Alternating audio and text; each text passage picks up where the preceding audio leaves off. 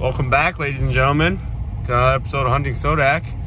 Today we got a kind of special hunt. We got a lot of guys going, and it's a pretty dirty feed. I, Cole scouted it last night and yesterday, and he said there's probably 5,000 mallards out there, and um, he saw a lot of specks in the area. We're not hunting right on where the specks were, but there's a lot of them flying around in the area, and some Canadians out there as well. So that could be good. We're hunting on the edge of a slough. We're using two A-frames. Not the homemade one, but we're gonna set up two A-frames right on the edge of the slough and hopefully get into them. But we got a special guest today. What's up back there? What's your name? Dylan. Dylan? That's miniature Carson is what, is what we're gonna call him. Kirsty, they look, they look about the same. Just a little bit smaller.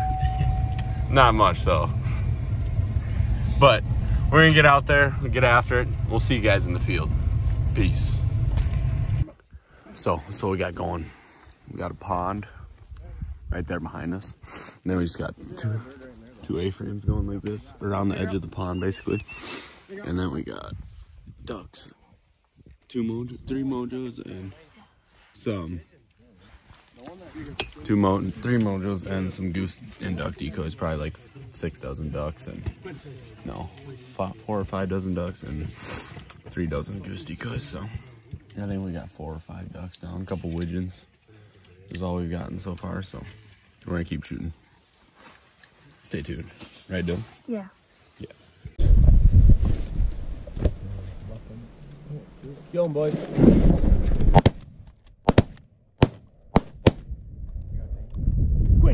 Oh, I got both. Second duck of the year I've shot. I shot one greenhead all year. I don't know what it was. I, I'm pretty sure it was a hen or a gadwall or something, but we're getting into them, right, Dill? We're gonna get them into them today. But I think we got like three down. They shot into a group earlier, so we're gonna keep after it. Stay tuned. The widgeons were sitting there. I don't see them. Go ahead.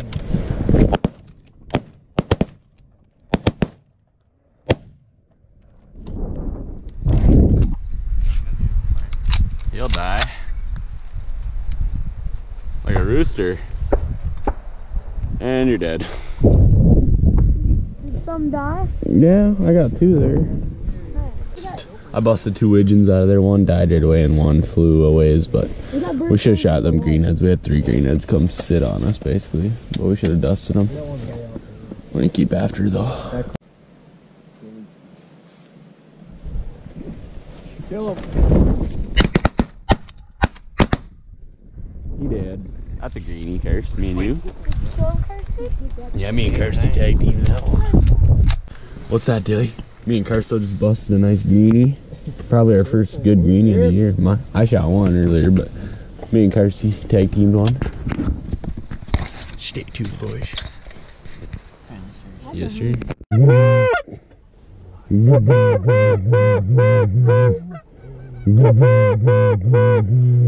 You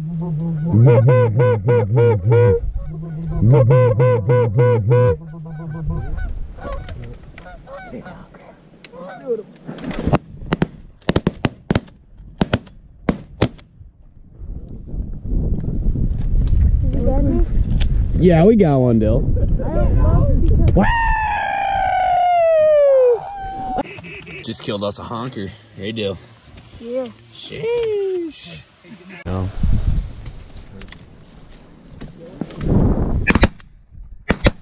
Poor guy. He did. Should have waited on the snows. They're about to do it. nice. I love me a good dumb greenhead.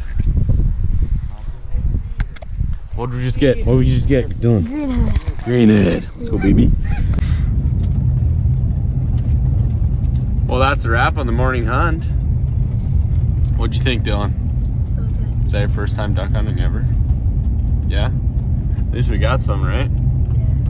They weren't really working the best. Our top wasn't covered as good as it should have been, but they all were just flying right above us pretty much at 200 yards hovering and looking down into the blinds, which kind of sucked, but but hunters near us. that didn't really affect anything.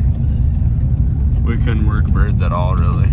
We worked a few flocks and that's about it. But we did shoot a goose and then I think we got like two or three greenheads and a couple widgeons and a couple hens. So that's it for that, I guess. But might go pheasant hunting later today. I don't know. Maybe this will be a separate video if there's enough enough content of ducks flying around us. But we'll see. But thank you guys for tuning in to another one. Don't forget to like, subscribe, check out the other videos. What do you got to say, Dylan? They need to subscribe. Subscribe? Yeah, I think so too.